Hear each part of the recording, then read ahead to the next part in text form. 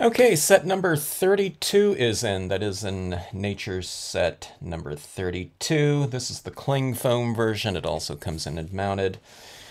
Um, let's see. I'm going to be testing here for impression quality and detail retention when it comes to um, the engraving process, the mold making process, and uh, let's see um, if uh, the stamps are retaining as much information as I hoped they would when I designed them. When you're designing stamps, you're always kind of looking for um, kind of the amount of detail to, um,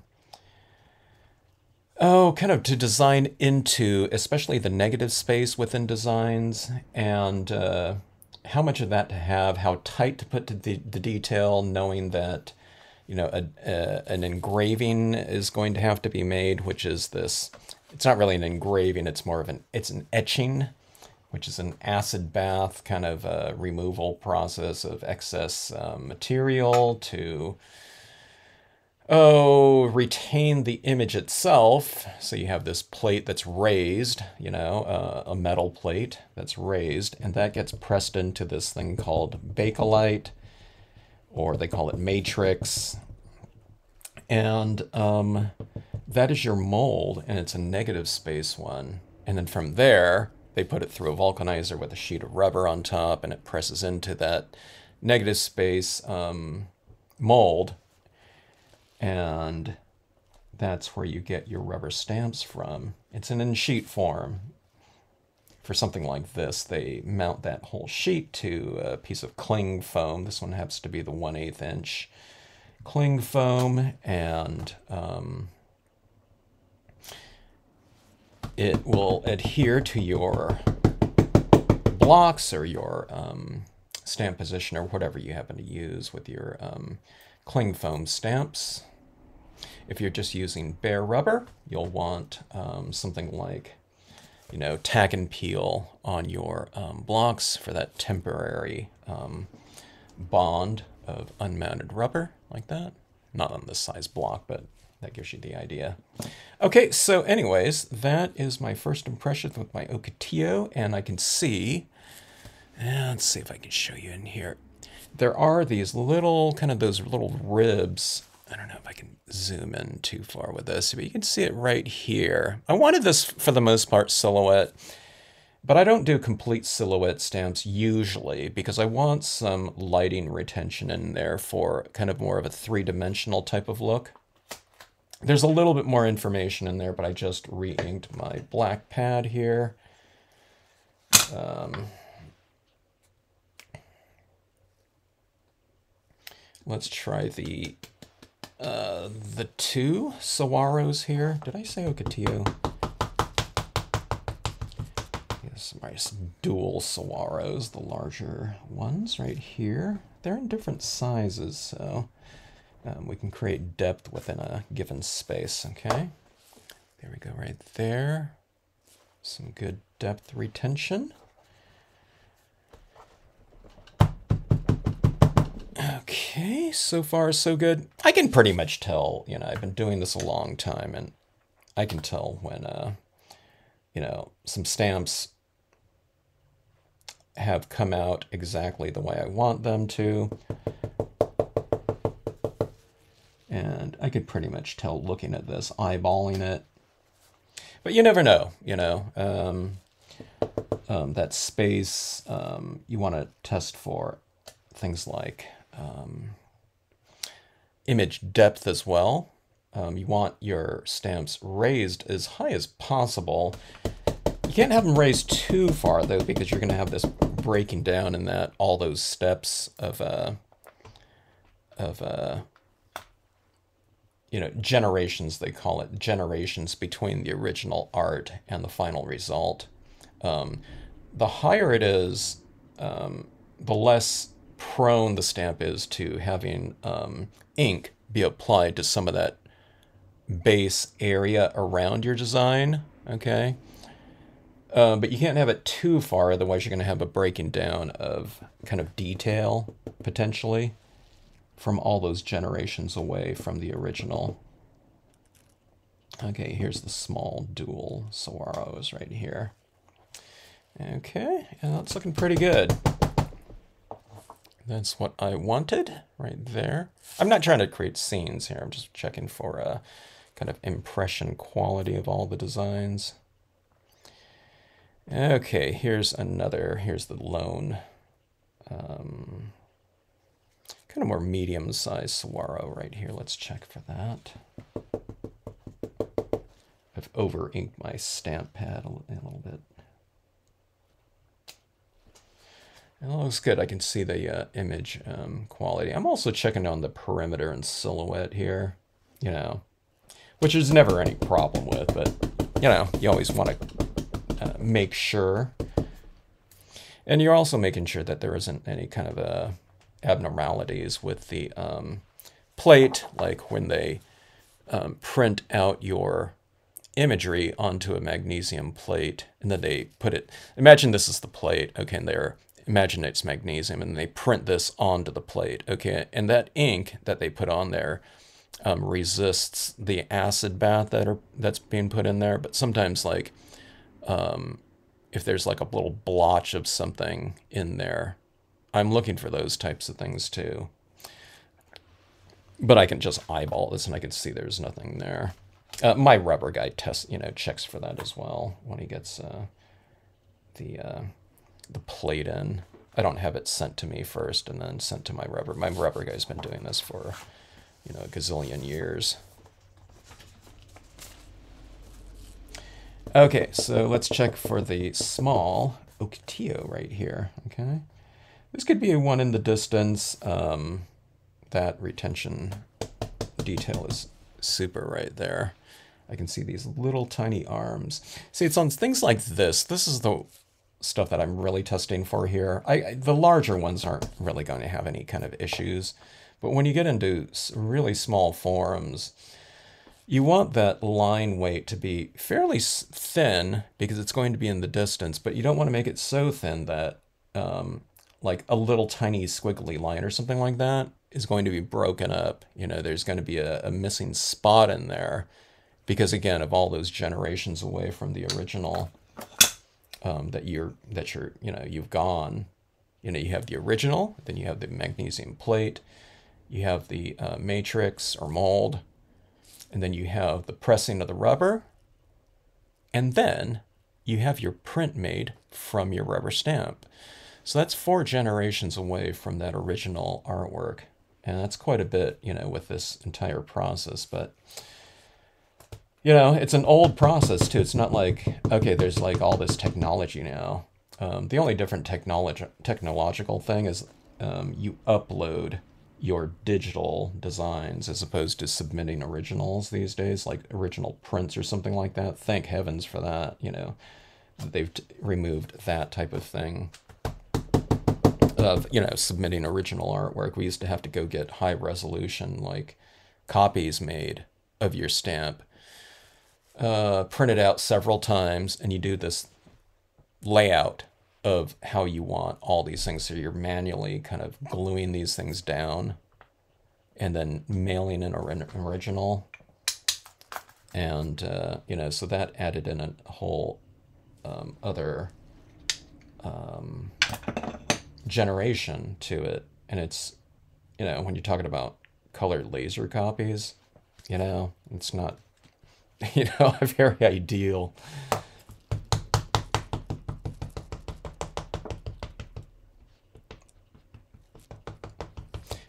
Okay, so I, I, one of the things I didn't do on this um, sheet right here, I don't have a lot of super solid um, silhouette types of things. I guess the Saguaros were a little bit like that. But sometimes, you know, when your stamps are new, um, and if you're using like super wet ink or something like that, it's going to fill in in the details like that um, or super juicy pads, I should say, not wet ink. It's always wet, but um, you know, sometimes when you get your your stamps, you want to kind of kind of rub off the surface a little bit. You can put a like a wet paper towel and just kind of take your stamp and just kind of go like this with it. I, sometimes I just do it on a just a blank piece of paper like this, so you can remove some of the resist that's used, you know, to remove the stamps from the mold. Okay. Otherwise, you might get some kind of irregularities in there, but you don't really have to do that except for um, images that have a really large kind of solid area. Okay. All right, so this is the type of thing that I'm looking for right in here. It's all those little details in that saguaro.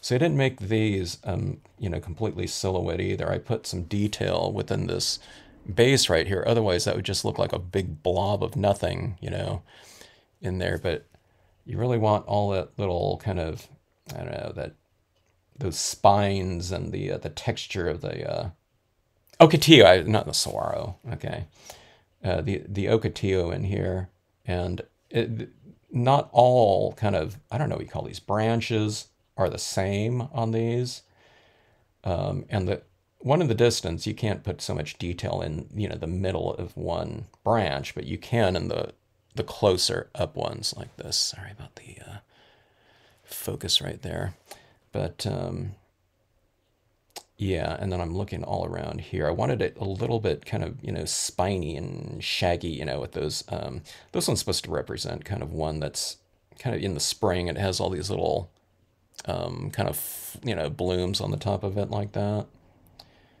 But um, I'm looking around the base, especially, and like right there at the foot, and seeing that little growth and grass around at the base right there. And it's perfect. It's exactly what I had hoped for, you know, when you're designing it and kind of making some design decisions. All right, so those are the Ocotillos, okay. I've had both of them on my mind, so I'm, you know, I'm saying, uh, forgive me for if I said Ocotillo, where it was Saguaros, and Saguaros, where it's the Ocotillo here. I've seen a lots of Ocotillo. They don't have too many. Um, I don't know. Maybe there's some on the border, but I don't see too many um, saguaros, at least in the areas that the high, uh, the um, the desert areas that I've been to, uh, hiking a lot in. All right, so these are my little um, kind of bushy, scraggly um, desert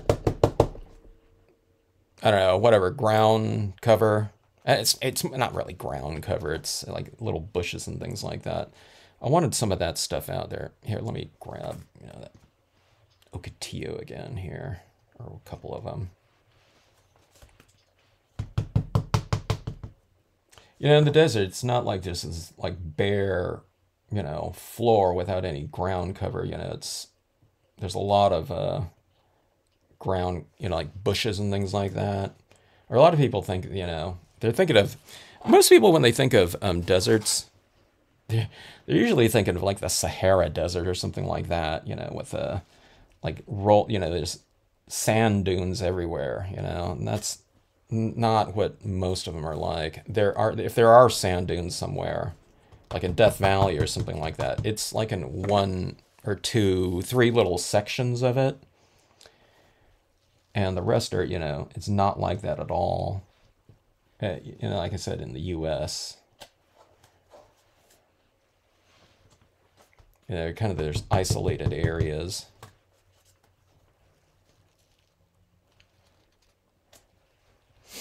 Okay so anyways little ground covery types of stuff out there. And that's you know i wanted to put that type of thing at the foot of it. That's what I was kind of missing in that first set. It's like, you know, I can build it out of um, that stuff out of uh, existing Stampscapes designs. Um, but, um, you know, I wanted it in the set and kind of more specific to the desert environment. That being said, that type of ground cover, you can use it anywhere too. It doesn't have to be a desert. Okay, well, um, maybe the, I don't know if these are longhorns right here. Little cattle um, skull. That, I don't know if I would use that like in a forest environment or something like that, but that little thing that cracks me up. And I'm looking for details in the horns, and it's all in there. You know, those little, um, what do you call them, like little ribs or something like that. Um.